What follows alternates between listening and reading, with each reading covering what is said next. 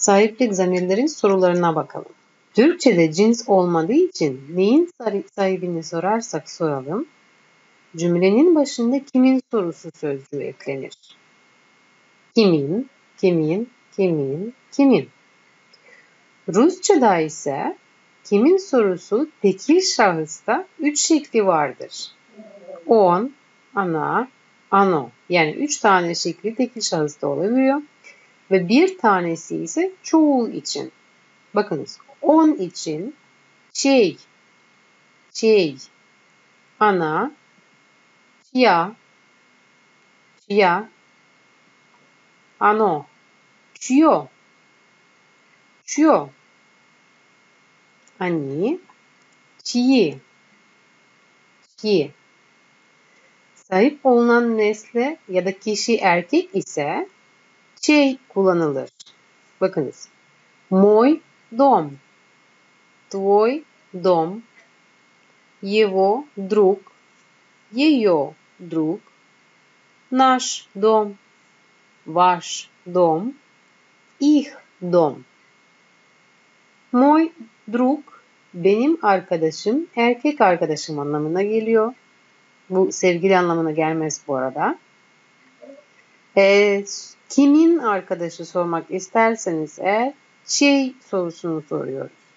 Çünkü drug erkek olduğu için sorusu da ona göre ayarlıyoruz. Sahip olunan nesle ya da kişi dişil olursa çiya sorusu gelir. Моя квартира, benim dairem.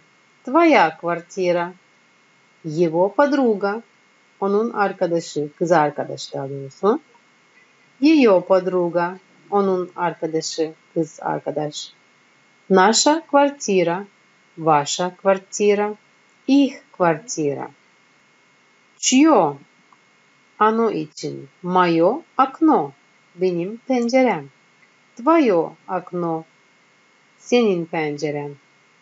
Его имя, onun ismi, erkek için Его. Ее имя, onun ismi. Наше окно, bizim, sizin pencereniz. Ваше окно, sizin pencereniz. Их окно veya имя. Biliyorsunuz daha önce de bahsettiğim sahiplik zamirleri öğrenirken yevo, yeyo ve i hangi isim gelirse gelsin aynı şekilde kullanılıyor. Çoğul için ise çiğ sorusu sorulur. Мои квартиры. Benim dairelerim. Твои квартиры. Senin dairelerin. Его друзья. Onun arkadaşları. Ее друзья. Onun arkadaşları. Наши дома. Bizim evlerimiz. Ваши дома.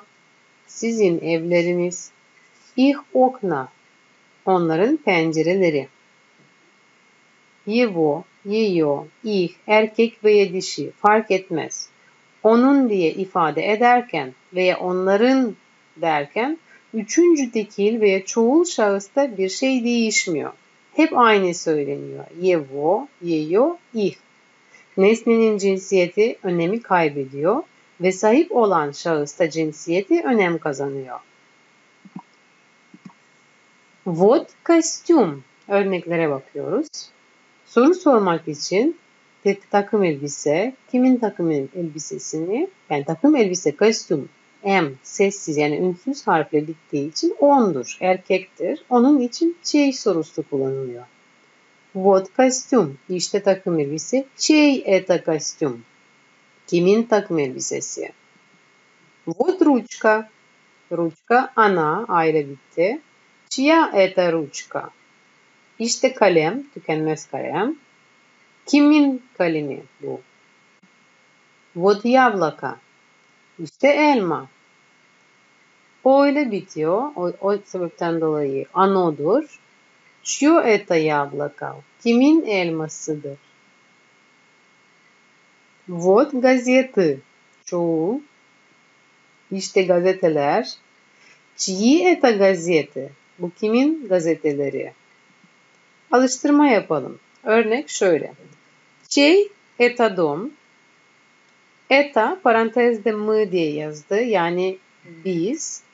Söylememiz gereken bizim evimiz. Yani naş dom. Eta naş dom. Önce soru soracağız sizinle.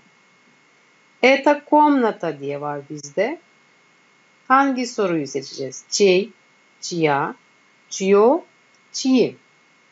Komnata A harfi bittiği için, dişil olduğu için çiya sorusu gelir. Çiya eta komnata. Bu kimin oda? Bu kimin odası?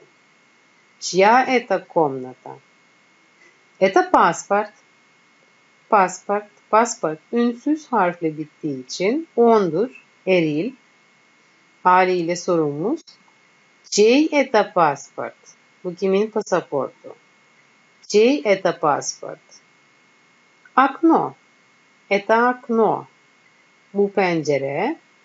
Окно o harfle bittiği için anodur. Чье это окно? Чье это окно? Стихи, stih şiir, stihi şiirleri çoğul burada. Чьи это стихи? Чьи это стихи? Kimin şiirleri? Это film. Это film. Bu film. Yine sessiz ünsüz harfi bitti. Чей это film? Чей это film? Это квартира. Bu daire. Soru sormak için kvartira A harfle bitti. Another yani dişil. Чья это квартира? Eta imя. Burada da hatırlamamız gereken ya ile bitiyor evet ama me diye kural vardı bizde. Me harflerle biten kelimeler anodur yani nötr cins oluyor. O yüzden Çio eta imya diye soruyoruz. Çio eta imya. Bu kimin ismi? Kimin adı? Belki bir yerde yazılıysa bu şekilde sorulabilir. Kimin ismi? Çio eta imya. Это telefon. Это telefon. Yine ünsüz harfi bitti. Ondur. Чей это телефон? Чей это телефон? Это улица. Это улица. Sokak. Bu sokak. Чья это улица? Yani sessiz harflerle biterse ya erilin olan bitişiyle biterse çey, A, ya bazı durumlarda mehki znak ezberlememiz gerekiyor. Ya. O, y artı ma demiştim. E, bittiğinde çiyo sorusu soruyoruz. Çoğulda ise çiyi. Devam edelim. Eta parantezde ana görüyorsunuz komnata. Bu onun odası dememiz gerekiyor.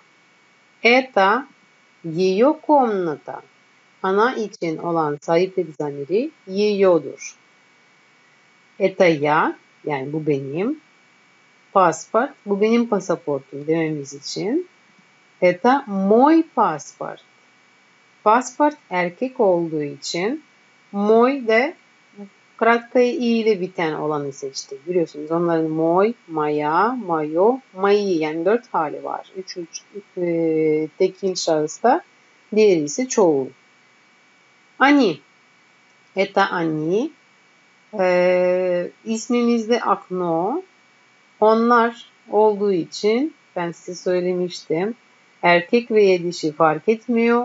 Onun veya onların ifade ederken Üçüncü tekil ve çoğul şahıslarda bir şey değişmiyor. Hep aynı söylüyoruz. O yüzden nesnenin cinsiyeti önemi kaybediyor ve sahip olan şahıs, şahısın cinsiyeti önem kazandığı için burada ih kullandık. Eta ih akno. Bu onların penceresi. Mı, biz, stihi, şiirler, Yani çoğul kullanmamız gerekiyor. Bizim şiirlerimiz. Это наши стихи наши стихи. Он. Это он. Э, фильм var sonunda. Это его фильм. Это его фильм. Это вы ve kvartira. Kvartira daire. E, bu sizsiniz. Bu daire. Bu sizin daireniz. Это ваша kvartira. Это ваша kvartira. Вашa büyük harften yazma sebebim karşımda tek kişi var.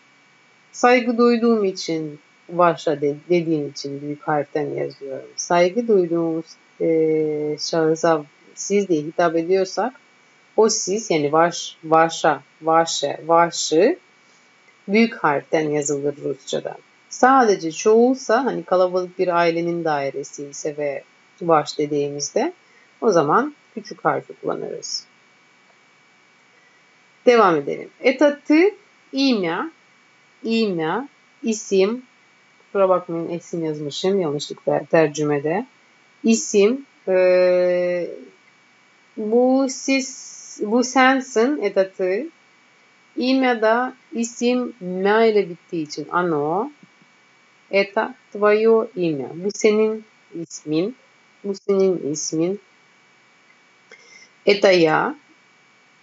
Телефон Бубен. ben телефон. telefon benim telefonum dememek demek. Это твой мой. Это я. Телефон. E, benim telefonum söylemek için ben için şahsen veri kullanmam lazım. Eta moy telefon. Eta moy telefon. Telefon er, eril olduğu için moy da ona göre kullanıyoruz. Eta mı bu biziz. Ulica sokak. Bu bizim sokağımız demek için. Eta naşa ulica. Sol tarafta soruları görüyorsunuz. En başına bakalım. Чья это комната? Karşındaki cevap ise Это ее комната. Bu kimin oda? Bu onun odası. Чей это паспорт? Это мой паспорт. Чье это окно? Bu kimin penceresi? Это их окно. Bu onların penceresi. Чьи это стихи? Kimin şiirleri? eden naşri stihli. Bu bizim şiirlerimiz. Ve bu şekilde devam edebilirsiniz. Yani soru, cevap. Fakat şunu da söylemem gerekiyor. Sadece cümlenin vurgusunu değiştirerek biz sağdaki normal cümlelerden yani düz cümleden soru da oluşturabiliriz. Etayi yok omnata, bu onun odası dedik. Bu onun odası mı sormak için yazarken sadece soru işareti ekliyoruz. Söylerken de ses tonumuzu değiştiriyoruz. Это ее комната, bu onun odası mı? Это мой паспорт, bu benim pasaportum. Это их окно. Bu onların penceresi mi? Это наши стихи. Bu bizim şiirlerimiz mi? Это его фильм. Bu onun filmi mi? Это ваша квартира. Daireniz mi? Это твое имя. Ismin mi? Это, твой, это мой телефон. Bu benim telefonum mu? Ve son olarak это наша улица. Bu bizim sokağımız mı? diye sorabiliyorsunuz. Yani özetlemek gerekirse isimlerin cinsleri ne kadar önemli olduğunu şu anda anlayabiliyorsunuz. Çünkü hemen hemen her konuda biz onları kullanıyoruz.